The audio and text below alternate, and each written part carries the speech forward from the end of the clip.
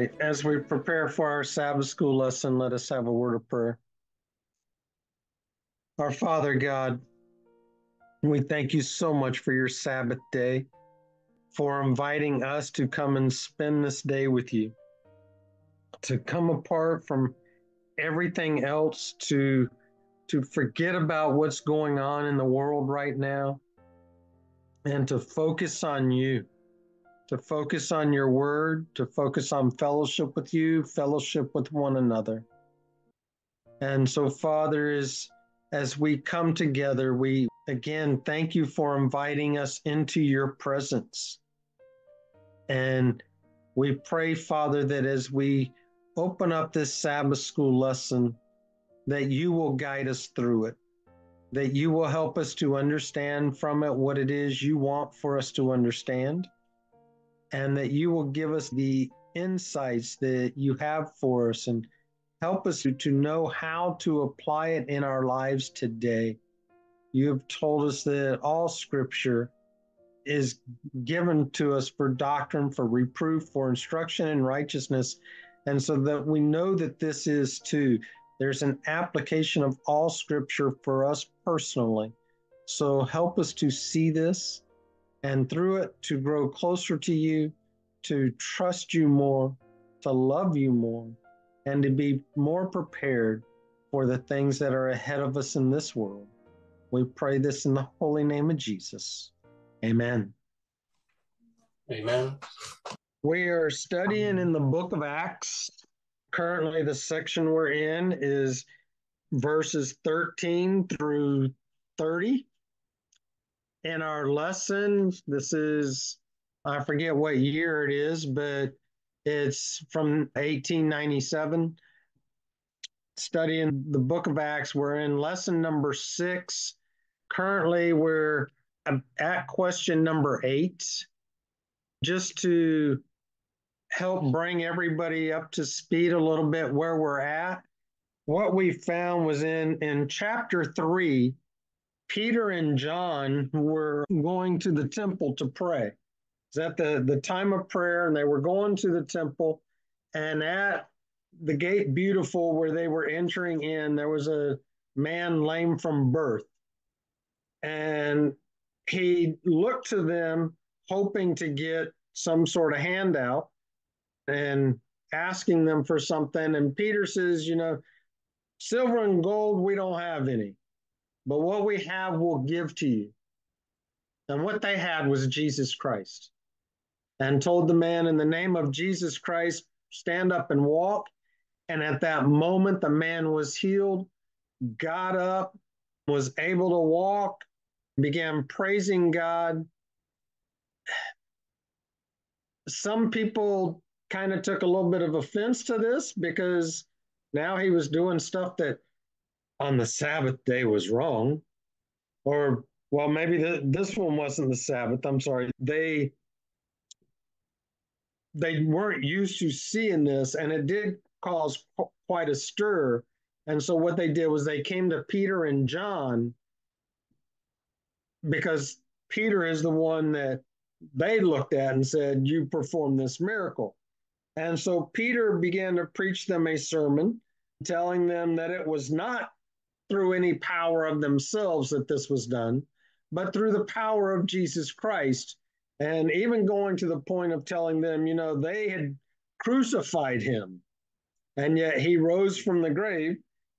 And so he had quite an opportunity to preach this sermon. Well, as a result of this, also, the high priest, Ananias, or no, Annas the high priest, him and his council called Peter and John in to question them about this whole thing, the, the miracle that had been performed, but also them preaching Jesus Christ, who, of course, they had worked together to have him hung on the cross. And they learned with Peter and John, scripture tells us in, in chapter 4 and verse 13, it says they perceived they, that Peter and John were unlearned and ignorant, and they marveled and took knowledge of them that they had been with Jesus. So they saw these two men previously, before being Christ's disciples, were fishermen, kind of the, the low of the low, the uneducated. And yet they, in speaking to these two men, saw the boldness that they had, the understanding of things that they had, and obviously saw this miracle that was performed. And they weren't sure what to do. Obviously, they didn't want Jesus Christ preached. And they, they weren't sure really how to handle this. And so then they did come up with a plan. They, they sent Peter and John out and the council just met among themselves and they came up with a plan of what to do. And that brings us to question eight in our lesson. And it says, What charge did they give the disciples when they called them back in? And we find the answer to this in Acts chapter 4, verses 17 and 18. Uh, would somebody be willing to read those two verses for us? Acts chapter 4, 17 and 18 but that it spread no further among the people, let us straightly threaten them that they speak henceforth to no man in this name. And they called them and commanded them not to speak at all nor teach in the name of Jesus. Okay. So they couldn't deny that a miracle had taken place. They couldn't deny what these men were saying. They scripture tells us that they could come up with nothing to go against what they were saying. They couldn't accuse them of lying. There, there was too much proof what they were saying was true. So, what does it say that they decided to do? Threaten them. Okay, Keith says they tried to cancel them. That's Threaten. using today's terminology. Yes, Jolene, they, they threatened them. Mm-hmm. Now, it doesn't say how they threatened them. Does it really matter how they were threatened? I mean, to, to me, a threat's a threat. A, a threat is a way of saying, you do things our way, or we're going to find a way to punish you. Now, thinking in terms of this, is this just something that happened back then? Or is this something that goes on today, something that we can expect even to happen to us. Amen.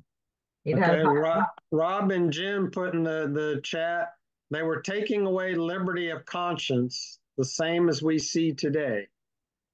Yeah, it had happened to us in the church as well when they put us out, not wanting to hear that uh, there were no Trinity in the Bible. They don't want to hear that. So they menace, I would say they influence, they menace us to leave the church or else they call the police on us. This is a threat too. Okay. Also, our brother Conrad Vine is a good example of what is happening now because everybody knows him.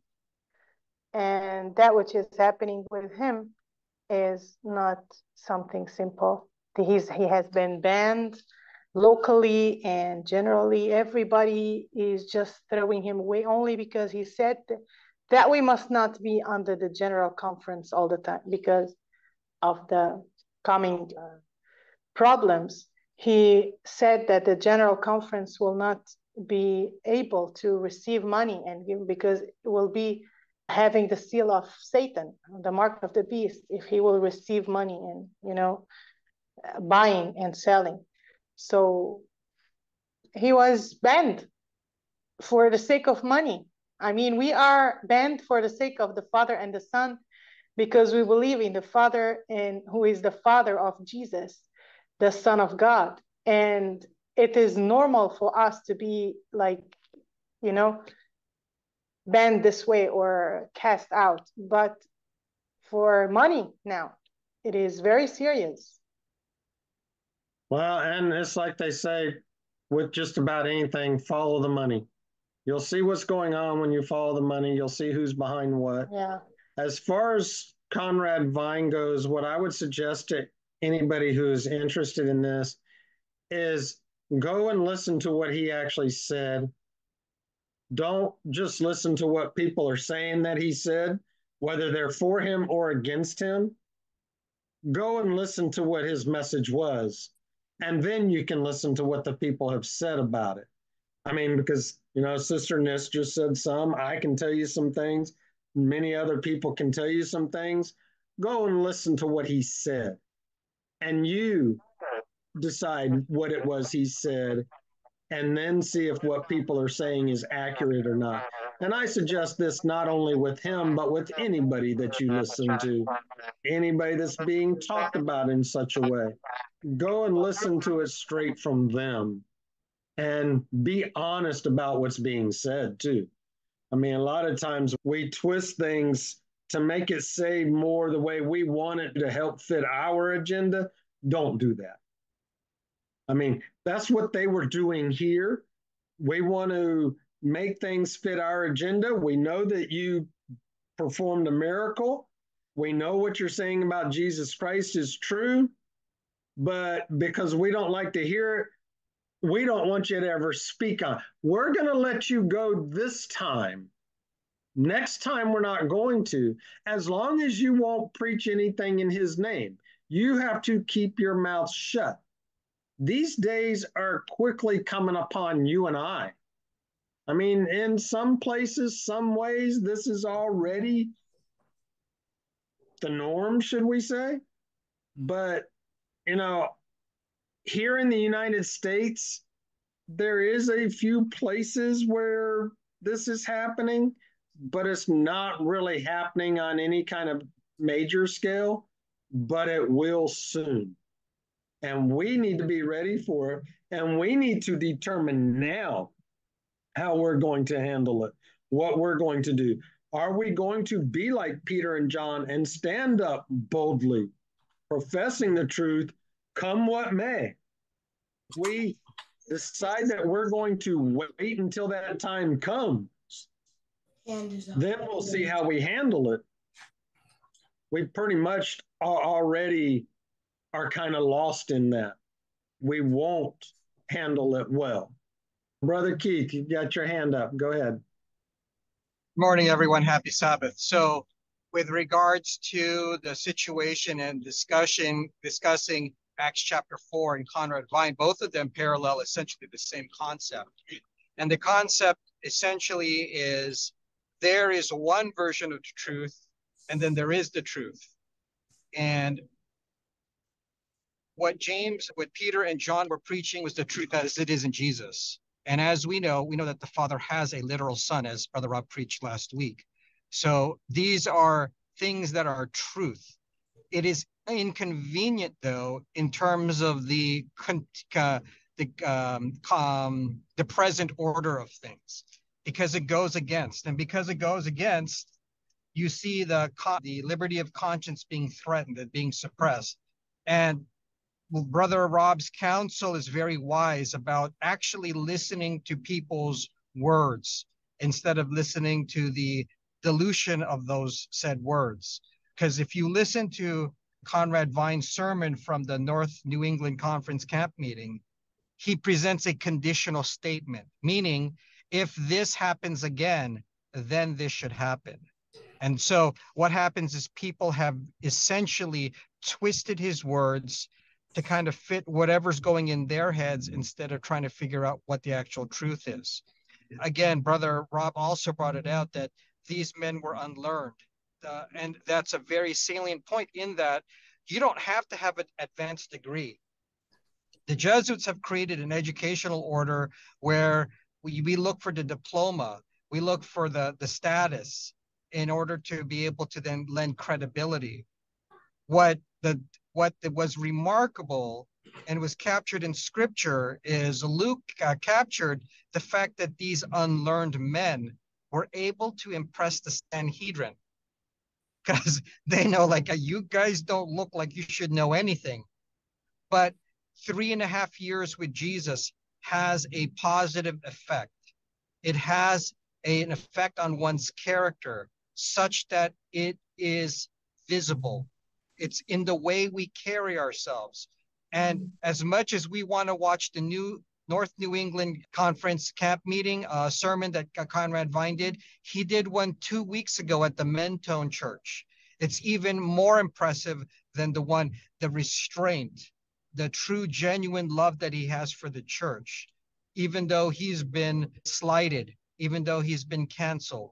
In terms of additional watching, I highly recommend you look for the Mentone SDA sermon that he did about two, three weeks ago now. That one is an exceptional response to all the Ivor Myers, the Mark Finley. There's a whole bunch of different responses that are out there. But again, it's in the character in which uh, Peter and John carried themselves that was so remarkable to the Sanhedrin that Luke captured it in words and is carried on to us today. And I think that's the biggest teaching point. Thank you, Keith. Let's see, somebody, what's this in the chat? Wilson put in the chat under the showers of the latter rain, the inventions of men, the human machinery will at times be swept away. The boundary of man's authority will be as broken reeds, and the Holy Spirit will speak through the living human agent with convincing power. And let me add to that to go along with Peter and John here. You don't, and what Keith said, you don't have to have a degree for the Holy Spirit to do this. He can use anybody that's willing to be used.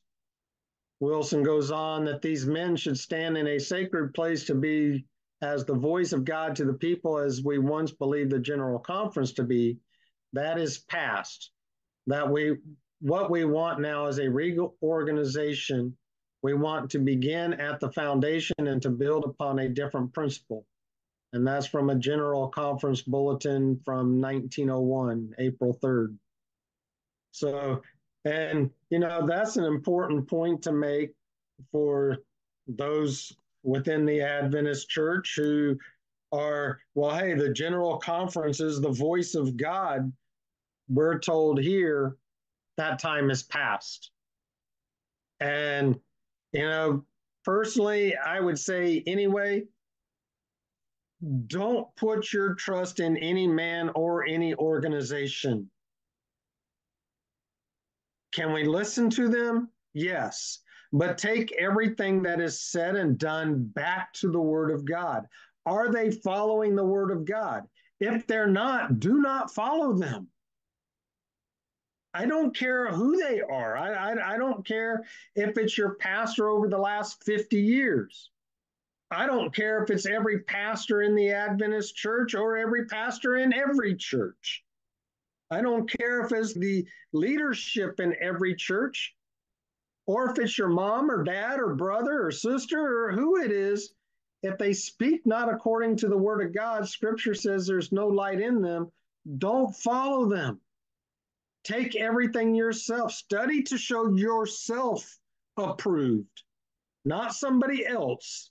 Study to show yourself approved and make sure that whatever you are receiving from somebody else is in accordance with the word of God. If not, then let it go.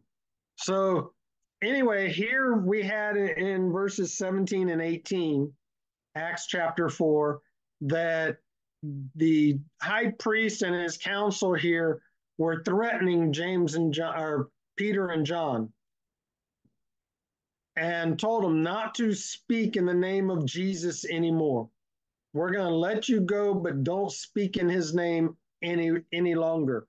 And how did James and John reply to this? Yes, Sister Nis. For we cannot but speak the things which we have seen and heard. Okay, they actually said something just a little bit before that too. Whether it be right, important. whether it be right in the sight of God to hearken unto you more than unto God, judge ye. Okay. So first, these men that were threatening them, telling them you need to do things our way, their first reply was, "You judge for yourself whether we should listen to you or God." Now, to me, that's Peter already saying, we know we need to listen to God. He didn't come right out in that sentence and say, you, you make your decision who we ought to listen to. And, you know, this is a good statement to make to church leaders. Because aren't the church leaders typically, anyway, telling us study the scriptures, follow the scriptures, listen to the word of God, do what the word of God says, do this because the word of God says it, do that because the word of God says it. They supposedly keep pointing us to the word of God until the word of God contradicts them. Then it's no, you listen to us instead. We need to take this same counsel that, that Peter and John expressed here and we need to hold firm to it. Don't let it go. Don't deviate from it at all. But we need to determine within our hearts that we are going to hearken unto God. We're going to listen to Him and we're going to obey Him regardless of what anybody around us says, whoever that might be. And, you know, sometimes that's going to look like we're standing alone. We're going to be there by ourselves. It's Peter and John had each other to depend on, which, you know, I think that's why when Christ sent the disciples out, he sent them out two by two. Being by yourself, it's easy to become discouraged. It's easy to back down it, it's easy to just say, you know, we can handle this another time in another way. But when you've got somebody else there, they help strengthen you. You help strengthen each other. You help give each other boldness. You, you, you lack of a better way to put it at the moment, you help feed off each other. And so you're willing to do more, but we've got to realize there will be times where physically we are standing alone. The only one there with us will be the Spirit of God. And we're not going to see that. And sometimes it's not going to feel like that. Just the same as Christ was on the cross, my God, my God, why have you forsaken me? We are going to feel like God has forsaken us that we are there by ourselves, but we have to trust the word of God. He has told us, I will never leave you nor forsake you. We have to hold firm to that and know, regardless of what's going on, He's right there with us. And the question is, are we going to still stand boldly for Him or are we going to deny Him? Regardless of what they might do to threaten us put a gun to your head. You know what? If somebody puts a gun to your head and pulls the trigger, you know what the next thing is, right? You see Christ coming in the clouds. hey, can't can't fight those results too much. I mean, can't can't argue a whole lot with that. You do this to me, and the very next thing I know is Jesus coming in the clouds.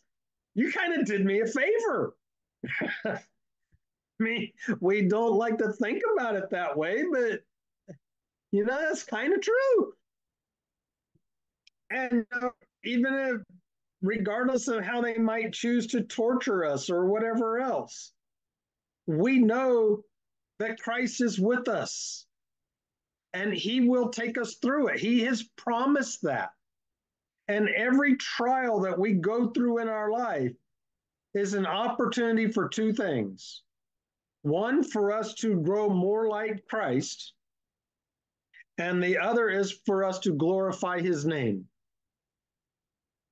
So, hey, if that's what trials do, no wonder Paul said, I glory in my tribulations. Shouldn't we also? We don't need to back down from them but the more we stand up for them, the more we stand boldly for Christ in the times of trial, then the more we see the hand of God working in our lives. the more he is honored and glorified, and the more people are going to come to him as well. So we need to take this same stance that Peter and John took here. And, you know, I'm going to follow God rather than man, period. Now, the next verse, verse 20, we cannot but speak the things which we have seen and heard. Think about that for a moment. Think of what was said here. They didn't say we want to, they didn't say we need to. Basically, what they said was we can't do anything else. This is question nine in our lesson. So, or questions nine and 10. So he says, they said, we can't help but to do anything else. This, this is all we can do. Think what that means for a moment.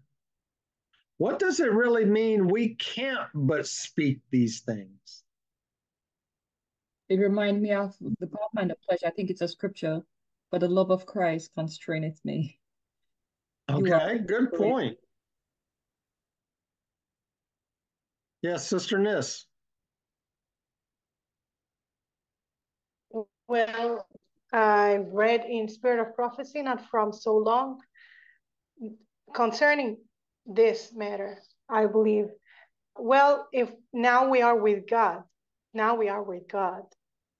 If we leave God, for any reason, if we loved anything or anyone more than God, we are going to be doomed because we chose to love anything more than God. And if we are doomed, there is nothing to save us because we will be in the hands of Satan. And when we will be in the hands of Satan, Satan is going to revenge.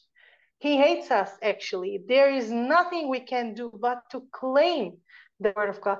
There are times that we want to we are very discouraged we are disappointed and we want to just give up and we want to just you know this is a very heavy cross but we have no other choice all we have to do is to press forward and go we you know looking at christ and by beholding we will be changed this is all that we can do receiving his character by his grace amen and brother rob and, yes and as Fiat said, part of love of God constrained. If you look at verse 8, it said, Then Peter filled with the Holy Ghost. What choice did he have? You know, he was um, totally consumed. You know, he was directed by the Holy Ghost. He had no filter. He had to do exactly as the Spirit, you know, guided him. Yeah. Well, we can quench the Spirit, but do we want to do that? We shouldn't want to do that. And if we're not going to quench the spirit, then yes, we do whatever it is the spirit is, is working in us to do. And, you know, that is to preach God and preach Him boldly, preach Christ, make Him known to the world. Uh, we, we have to remember that what God is trying to do is reconcile the world to Himself. Now, that doesn't mean just bring them all in in, in droves and they they stay as they are and just, you know, I want to be with them in all their sin. No, he's trying to change us from our sin, and he does do that. But what he's trying to do is help people to see his goodness and come willingly to him, not force them. And we have been called as ministers of reconciliation along with God. We are to work together with Him for this purpose. If we're going to be ministers of reconciliation along with God, then we've got to speak the goodness of God. We've got to help people to see the truth of God. We've got to help them to see that what God has done, is doing, is promised to do, and then also man's attempts to stop that, Satan's attempts to stop that using man. And You know, we've got to be willing to speak this boldly. And when we think about any time that there's a trial going on with us, scripture tells us our fight's not against flesh and blood. Peter and John's fight here was not with the council. Their fight was actually with Satan, and Satan was using the council. And we've got to keep that in mind is whether it's an individual or the local church body or the whole denomination or Christianity, period, if we're standing on the word of God and they're opposing us, our fight still is not with them. They are being led by the devil and hopefully don't realize it. I say that because I, I would hate to think that they're calling themselves Christians knowing they're working for the devil and intentionally doing that. But hopefully they don't realize it. And by us standing firmly for God, then we are working as a minister of reconciliation. We are helping make the truth of God known before them so that they can turn from that and surrender themselves to Him that they too might be saved. Yes, Sister Elaine. And also, Brother we have to remember that they are ruling with tradition because none of them accepted Christ as their savior. I'm talking about the Pharisees. They didn't accept Christ as their savior. So they thought that they were doing good, the good of doing what they do by the knowledge of what they know, but not accepting Christ as their savior. So they didn't want to hear about the miracles of the, the apostle or the disciples of Christ who had received the Spirit of God in them to do what God led them to do. And, you know, that's a really good point that they were doing what they thought was right. Mm-hmm. Tradition. Well, and, and it's not just tradition. I mean, according to their understanding of the scriptures, they were doing what they thought was right. And we're told in scripture you know, that they will put us out of the synagogues, which means out of the churches today, and they will even kill us, imprison us, and kill, kill us, thinking that they're doing the will of God. So, you know, we we need to help them to need to take each of these things as an opportunity to help people to see the true will of God and not take it don't take it as just a personal attack on you. It's not a personal attack on you. It may be centered on you but it's really an attack on god. And we're given the opportunity to be an ambassador for god and help people to see the truth of what he's really like. That's a great calling. That's a great call yes wilson go ahead. I I've been going to church for a while now, a local church. I did not go there to listen to lies. I went there to share the truth that I do know with them.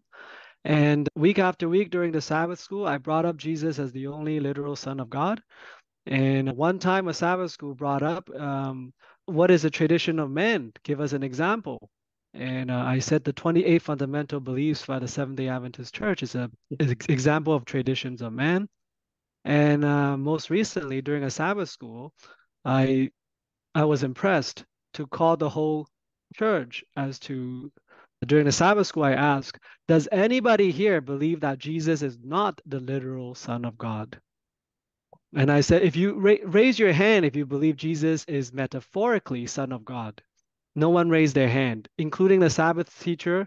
Even the Sabbath school teacher says Jesus is the literal Son of God. And I say, okay. And after that, the pastor tries to silence me and over what I bring up in Sabbath school week after week after week. I mean, it's been ongoing for a few months actually. So he finally says, if you're not going to be respectful towards the 28 fundamental beliefs, then don't join any of the church events and church because it's creating a hostility and is making the members of the congregation very uncomfortable. And so I share with the pastor, Pastor, I have said to the whole Sabbath school class that, and they all agree with me that Jesus is the literal Son of God. You and the General Conference alone believe Jesus is the metaphorical Son of God. Why don't you say in front of the congregation what you believe, and we shall end this conflict? So I did not, so he tries to bring in the Holy Spirit, the Trinity, and all that kind of things. I said, I'm not here to debate or talk about any of those stuff.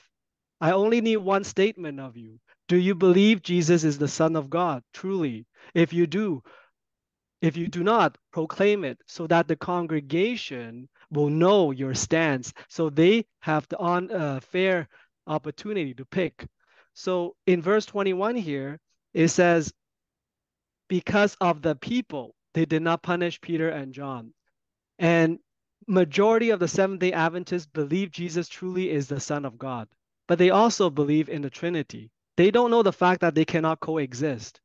But if we just bring forth the point that do you believe Jesus is the Son of God and push the pastor to make a statement that's contradict that contradicts the members' belief, then people will wake up and make that decision. So I think many times, even when Jesus was on this earth, the leaders couldn't punish him because of the people, because there are a mass amount of Seventh day Adventist church members that still believe Jesus is the only begotten Son of God. It's just only the leaders believe in the metaphor and the lies and those kind of things. So I think leadership does not represent the church, and we don't necessarily have to go to church to hear lies. We can go to church and participate in the Sabbath school and to correct the lies that's taught by the church. I appreciate that, Wilson, really do. And, you know, that took a lot of boldness to be able to do that. And, and I, I have no doubt heaven commends you for it for sure. And I agree with you that I, I've told people the same thing. You know, when I go to church, I go hoping to get at least one little thing out of it, but I go for the greater purpose of Lord, how can you use me there? And that's what we need to do, especially in times such as today with certain truths and to hold the pastors accountable for what they believe. And, you know, we need to, like you said, he, you were asking a question and he tried to take it off on something else. No, bring them back to the question that's being brought up as the issue at the moment. And, you know, we will find, I think, many times that the people go along with the things that we're uh, expressing because it is the word of God, it is the truth. And they're going to see that so much of the leadership is not following the word of God. And, and I'm glad you brought up, Don, I see your hand. I'm glad you brought up verse 21 because when Peter and John said this, our next question in the lesson was what did the council still further do? And why didn't they punish the apostles? And they threatened them again, is what they did. And yet they did nothing to them because of the people. They didn't want to suffer from the people. And, you know, Conrad Vine was mentioned earlier. That's part of what's going on there is they're threatening him. And yet, if they see the people rise up and you know the the people threaten back which typically is with the money hey let him speak or we're, we're going to withhold our tithes and offerings from you then they'll let him in they'll do a lot for money We've we've already seen most people will do anything for money people sell their sell their souls to the devil for money the love of money scripture says is the root of all evil so we've got all those things taking place in there. But, you know, scripture tells us there's nothing new under the sun. The things that happened back then are the things that are going to happen today. These things are written for our admonition so we know what's coming, we know how to handle them. And when we stand boldly for truth, God stands with us and many people will stand with us. There will be those who reject us. There will be those who who hold fast to the leadership because the leadership can't be wrong. But you know, it's more important that we stand for God and others will see that too. The greatest times of growth of the church has been during the times of persecution. And hey, if we're really wanting to help people to see God in truth and come to Him,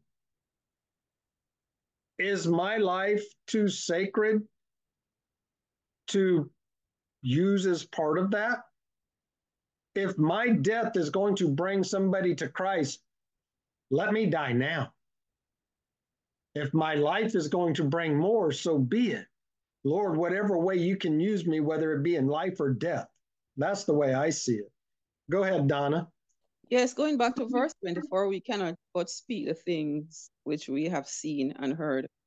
And in verse 30, they took knowledge of them that they had been with Jesus. And to have that that real, that practical, that physical experience as we read First John 1 to 4, that which was from the beginning, which we have heard, which we have seen with our eyes, which we have looked upon, and our hands have handled of the word of life.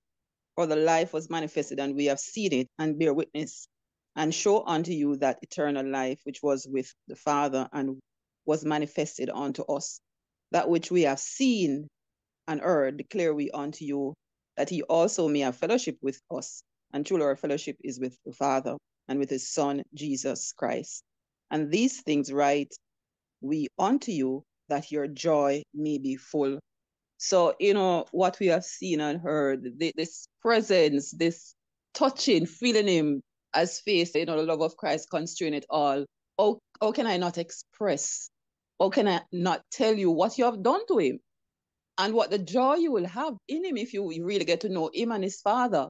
So, you know, see the connection uh, with all of those. Amen. Thank you. Wilson?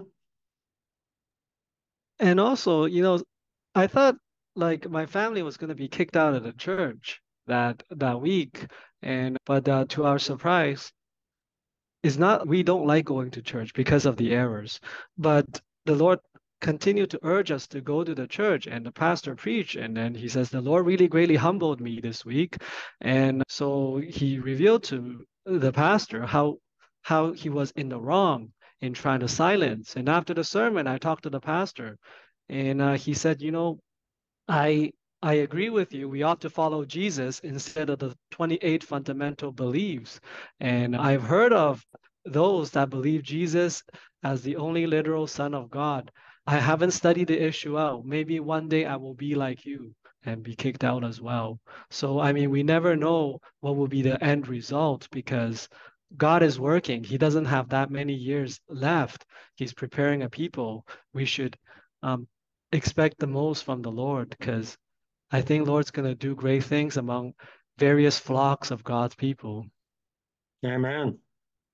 And you know, it even though some people don't look like it now, there are many sincere people out there that God is using and leading and you know they may be in error at the moment, but that doesn't mean God's not going to bring them to the truth.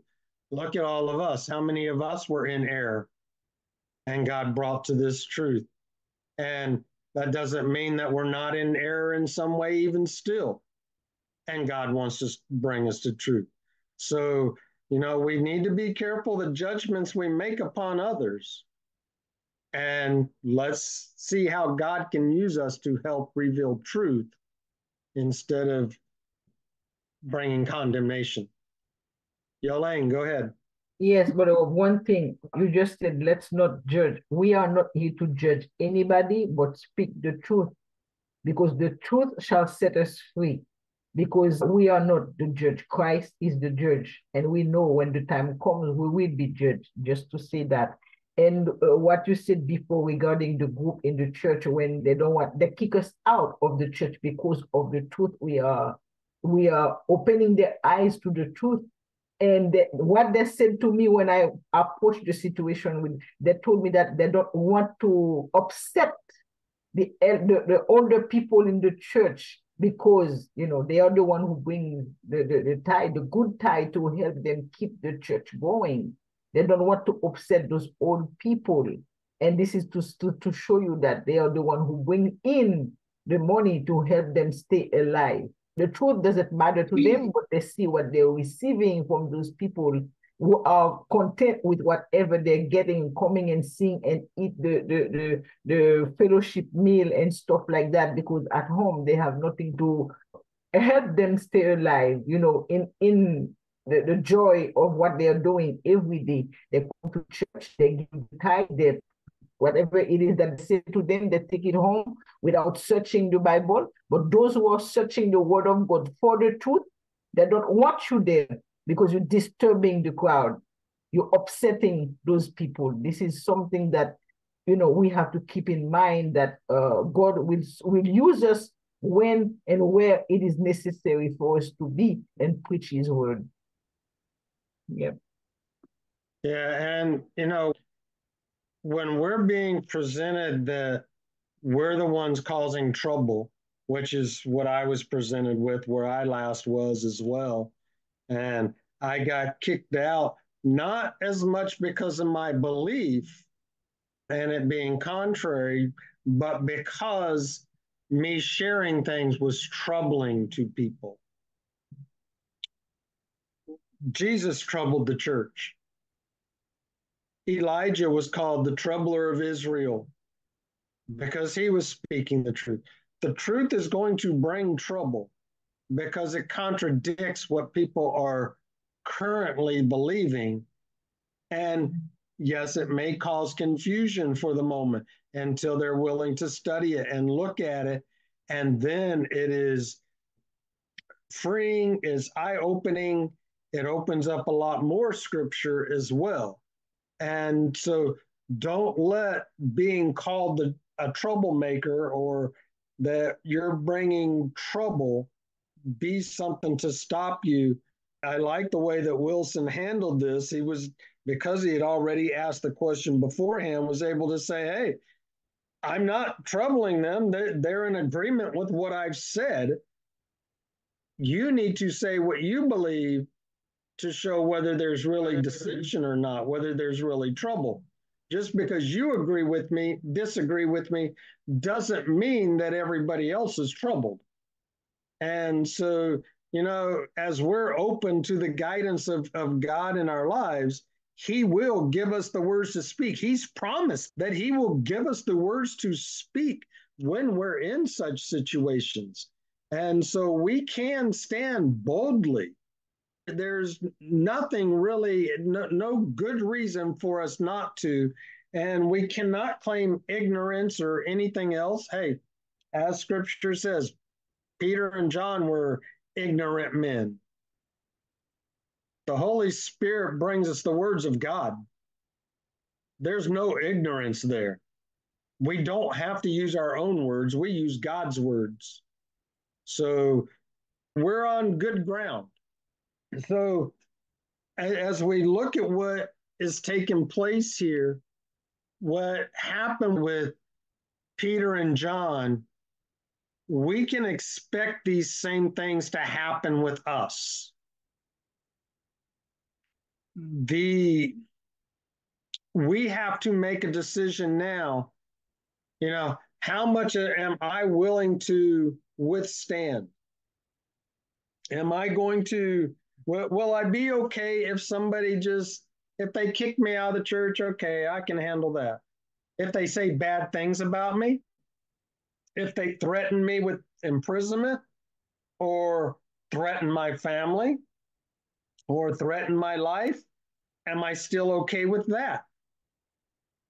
Will I stand boldly for God regardless of what happens? And you know, is it kind of seemed out of place with me in in this story. If you look at verse 22 here, as Peter and John were going through all this, and the the man who was lame, you know, we talked about that in chapter three. now here it is, we're in chapter four, and there's been all this other stuff taking place. Verse 21 So when they had further threatened them, they let them go, finding nothing how they might punish them because of the people. For all men glorified God that which was for that which was done. For the man was above 40 years old on whom the miracle of healing was showed. And you know, that verse 22, just stating how old the man was, kind of seemed to me odd to be put there. Why is this put here in this place? What difference does that really make? And especially in light of everything else going on. But I think what that was was a reminder of what's actually taking place. It takes us back, of course, first to the man, which here he was, it says 40 years old. Do you remember how long he had been lame? How old was this guy when he was lame? Went went lame. If you look Since at he was born. okay, that's what I was gonna say. You go back to chapter three, verse two. It tells us from the womb he was lame. So from birth, so his entire life he had been lame. It wasn't something that just happened. His entire life, and obviously he'd been taken to doctors and healers and herbalists and whoever else might be able to do something I mean, you, you would really expect that to be the case, and nothing worked. But here, Peter and John were able to heal him in an instant. They just met the man, and instantly the man is healed. But they let us know it's not by their own power, but the power of Jesus Christ. And now you're going to threaten me because I'm following and preaching Jesus Christ? Look, let, let's look at what started this today. The healing of somebody who's been lame from the time he was born through 40 years. And I already told you it was Jesus Christ who had the power to heal him. And now I'm preaching Jesus Christ, and you think you can threaten me? The power's on my side not yours. And that's what we've got to remember is who God is, who Christ is, what they can do, what they have promised. As long as we remember who God is and what he's already done in our lives, and that he's promised to never forsake us, we've got nothing to fear whatsoever. We're on the winning side. We're on the side of the one with power. The one who is strength above all strength. The one who is everything of any value. We're on his side. There's no reason to fear anything that man can put at you. Yes, Wilson. I think many of us don't actually realize how strong our position is. And what I mean by that is, after I called the Sabbath school to proclaim Jesus as the only literal begotten Son of God, I sent an email to every pastor in Ontario Conference, which is about over 100 pastors through the 100 churches. And I declared that this is what this local Seventh day Adventist church believed. And if you guys believe Jesus is a Son of God metaphorically, proclaim it from the pulpit and see if your members will believe you because only the leadership believes that lie. And so what what i mean is before jesus was crucified the high priests demanded are you the son of god? And jesus died for being the son of god. Now the table is turned. Let the seventh day adventist people demand from the leadership is Jesus the Son of God?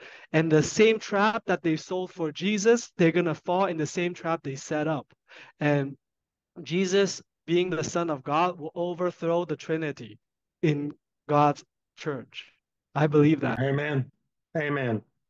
So, you know, if we get nothing else from this lesson, you know, we, we not only have the testimony here written of, of Peter and John, but I'm so glad Wilson's been on with us today to share his experience because this is a Peter and John experience that he's gone through and is able to share with us and to show the hand of God moving forward with his truth. And God is the one proclaiming his truth. We're just his instruments that he's using. And so, with that being the case, we know that we're, we're not standing on our own. We're not doing this by ourselves, but we are the instruments of God. He is the one in charge, He's the one leading it. We need to be willing to listen to His voice and to stand boldly for Him, come what may. And we know what the end is. The end is if we decide not to stand for Him, and side with man, we're lost.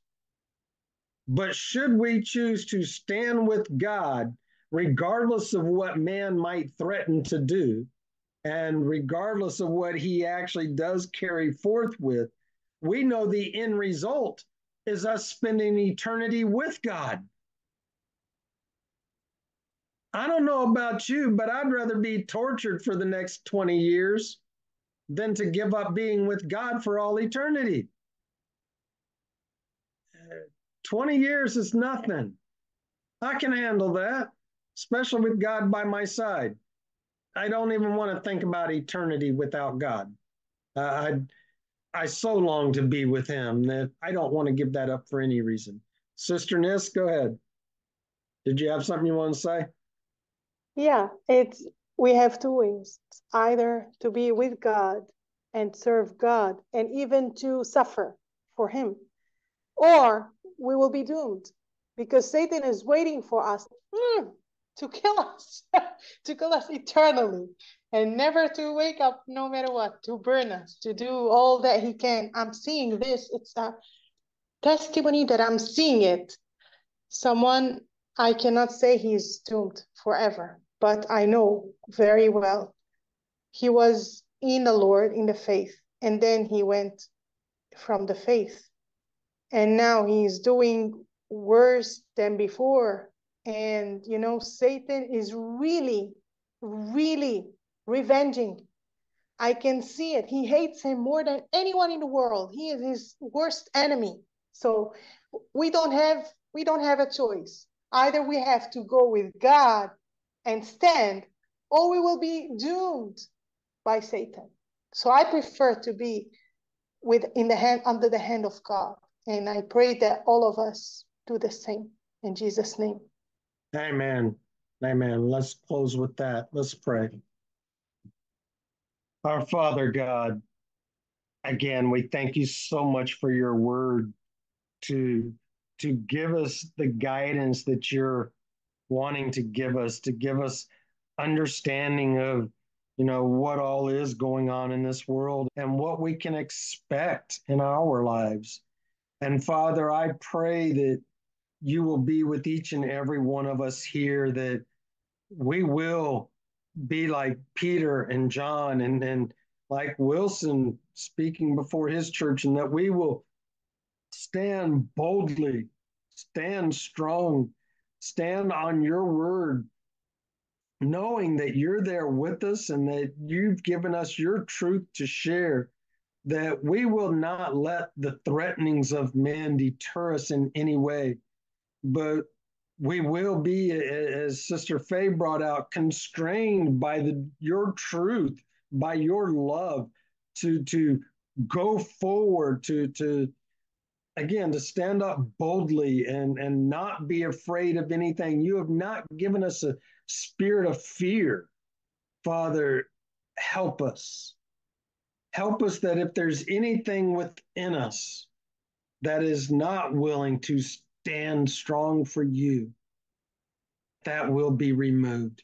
Help us to see it to repent of it to give it over to you to surrender ourselves completely to you that you can use us in ways that we've never even dreamed possible. Not that we necessarily want to be a, a, big name or anything else, but we just want to glorify you, Father.